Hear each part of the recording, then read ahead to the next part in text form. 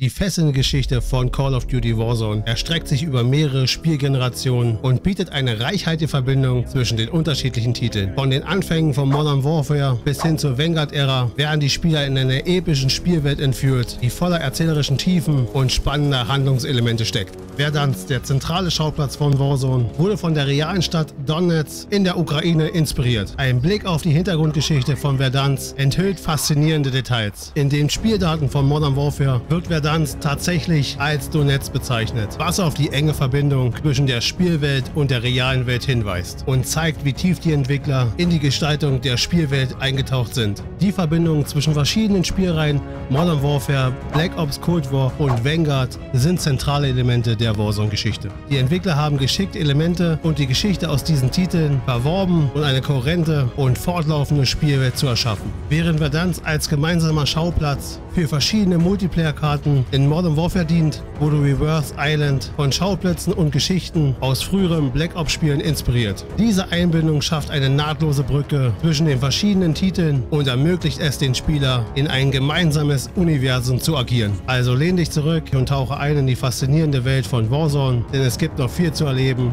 und viel zu entdecken. Price. Irgendwas stimmt nicht in Verdansk. Sie bekämpfen sich gegenseitig. Wir müssen rausfinden, wieso. Schick mir Leute, denen ich vertrauen kann. Ghost Ende.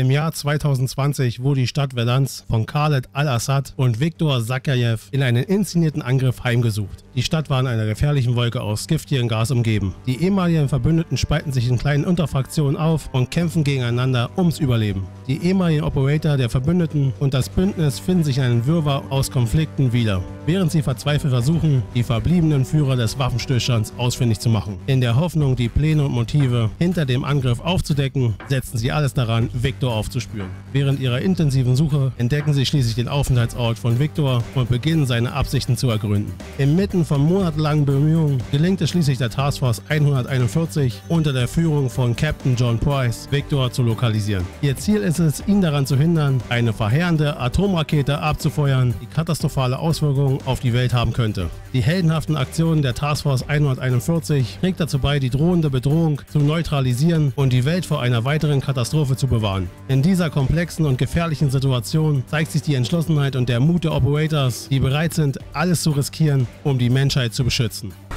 Nick, ich brauch den Code, schnell! Klar, hier kommt der Kommando. Sechs. Sechs. Eins. Eins. Fünf. Fünf. Wiederholen. Nick. Wiederholen. Ich höre dich nicht, Nick. Verdammt, Nick, die letzte Ziffer.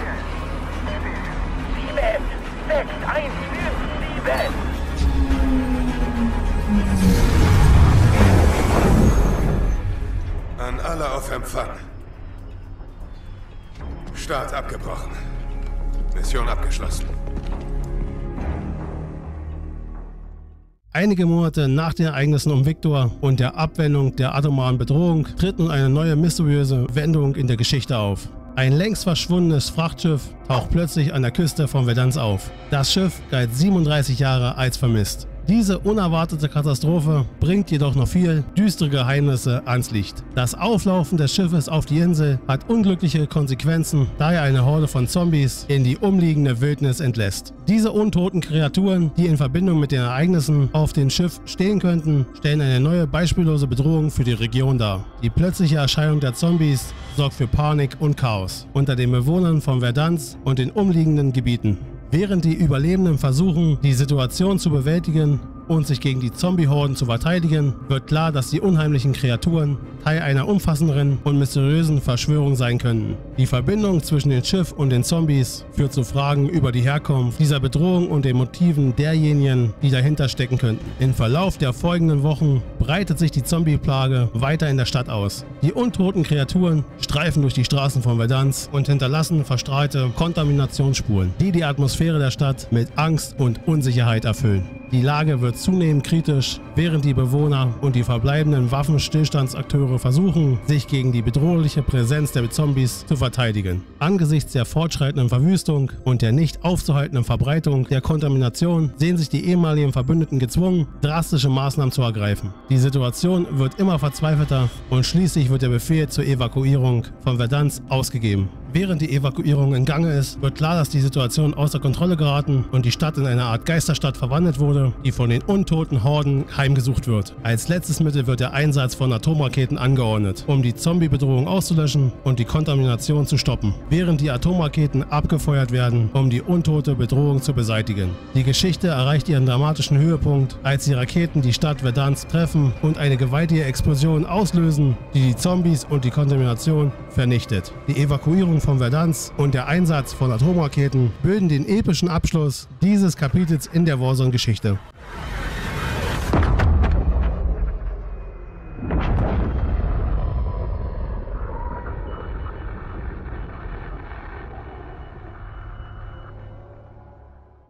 Nach der verheerenden Zerstörung von Verdansk im Jahr 2020 verlagerte sich die Handlung in das Jahr 1984, während der Ära des Kalten Krieges. Zu dieser Zeit setzte Perseus, eine gefährliche Figur im globalen Machtkampf, seine dunklen Pläne in Bewegung. Die Operation Stitch wurde ins Leben gerufen um die Anlage auf den Wiedergeburtsinseln wieder aufzubauen, um die Produktion des tödlichen Nova-6-Gases wieder aufzunehmen. In einer finsteren Wendung nutzte Perseus Operation Stitch, um die Wiedergeburtsinseln für seine eigenen schrecklichen Ziele zu reaktivieren. Die Anlage diente der Herstellung des verheerenden Nova-6-Gases, das bereits in der Vergangenheit eine furchtbare Bedrohung darstellte. Die Wiedergeburtsinseln wurden erneut zu einem Schauplatz des Grauens, während die Produktion des Gases fortgesetzt wurde. Inmitten dieser sich entwickelten Krise tauchte das mysteriöse Frachtschiff Vodianoi erneut auf. Es hatte die Inseln verlassen, nur um auf rätselhafte Weise mitten im Ozean zu verschwinden. Die Verbindung zwischen dem Schiff und diesen schrecklichen Ereignissen auf den Wiedergeburtsinseln deutete auf eine tiefere, undurchschaubare Verschwörung hin, die im Hintergrund lauerte. Später stellte Stitch eine Falle, um seinen Erzfeind, den CIA-Agenten Russell Adler, zu überlisten. Er will dich nur ködern, Adler. Schon klar. Aber Zivilisten sterben, wenn wir ihn nicht aufhalten. Adler geriet in diese Falle und wurde dann gefangen genommen. Die Rivalität zwischen Perseus und Adler erreichte einen neuen Höhepunkt, während die Mächte des Kalten Krieges und dunkle Intrigen die Handlung vorantrieben. Hast du das Paket? Wir haben die Zahlendaten. Beende die Mission. Die CIA unternimmt entschlossene Schritte, um den gefangenen Agenten Adler zu retten und die Bedrohung von Stitch zu bekämpfen. Die Suche nach Adler führt sie von Laos schließlich nach Verdansk, wo Stitch Adler gefangen hält. Ein Einsatzteam der CIA, das von Frank Woods geleitet wird, tritt an, um Adler aus den Fängen von Stitch zu befreien. Die Rettungsmission in Verdansk ist von Risiken und Gefahren durchzogen, da Stitch und seine Organisation weiterhin seine finsteren Pläne verfolgen. Die Stadt wird erneut zum Schauplatz eines intensiven Konflikts, in dem sich die CIA-Operator mutig den Schergen von Stitch entgegenstellen, um Adler zu retten und die drohende Gefahr einzudämmen. Während die Rettungsaktion im Gange ist, wird die Größe von Stitchs Vorhaben immer deutlicher. Sein Plan, das Projekt Nova wiederzubeleben, gewinnt nun an Schrecken. Eine geheimnisvolle Zahlenkombination, die von Nikita Dragovic geleitet wird, rückt in den Fokus. Diese Kombination steht in Zusammenhang mit der Kontrolle über zahlreiche gehirngewaschene Schläferagenten, die in Verdansk stationiert sind. Die Verschwörung vertieft sich, als die Kontrolle über die Schläferagenten von Dragovic übernommen wird. 16, 11, 1, 9, 21, 1, 16, 19, Peng, peng. Was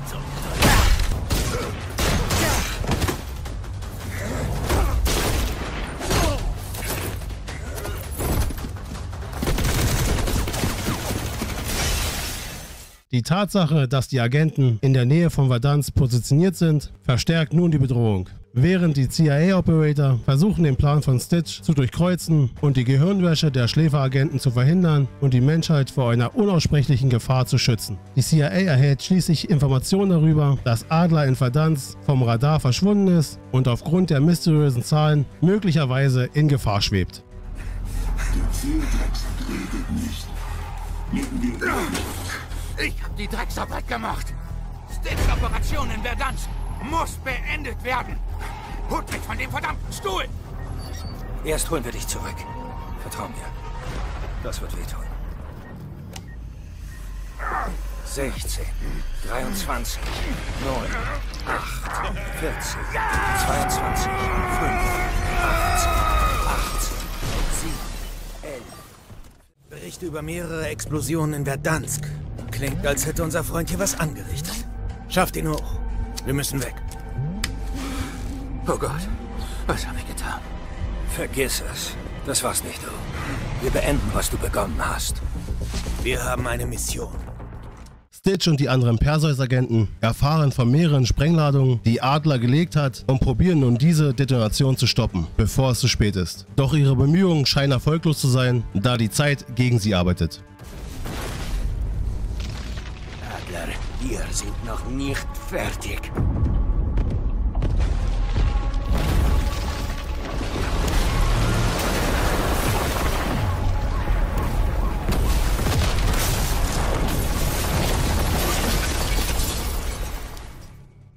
In einem düsteren Waldgebiet in Verdansk gibt Stitch schließlich seine Anwesenheit preis, wo er sich als Träger des Perseus-Mantels zu erkennen gibt. Während der vorherige Träger des Perseus-Mantels, sein früherer Vorgesetzter und Vorgänger, im Jahr 1983 an Krebs verstorben ist. Diese Offenbarung fügt Adler bereits belastende Situationen noch mehr emotionale Belastung hinzu. Stitch, der Schurke hinter den Machenschaften, tritt persönlich auf und konfrontiert Adler. In einem letzten verzweifelten Akt übergibt Stitch sein eigenes Leben an Adler, während er ihn über seine Verbrechen verspottet. Die Szene endet mit einem Schuss, der ertönt, während das Bild schwarz wird. Der Status von Stitch, ob er tot oder lebendig ist, bleibt offiziell ungeklärt. Die Unklarheit über das Schicksal von Stitch hinterlässt eine Aura der Unsicherheit und des Geheimnisvollen, was die geheimnisvolle Warzone-Geschichte zusätzlich vertieft. Tu, was du willst.